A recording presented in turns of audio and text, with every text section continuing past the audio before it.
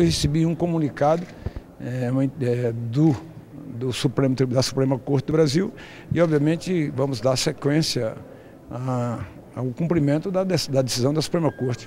Cabe também ao advogado é, do senador Aécio Neves fazer a sua defesa.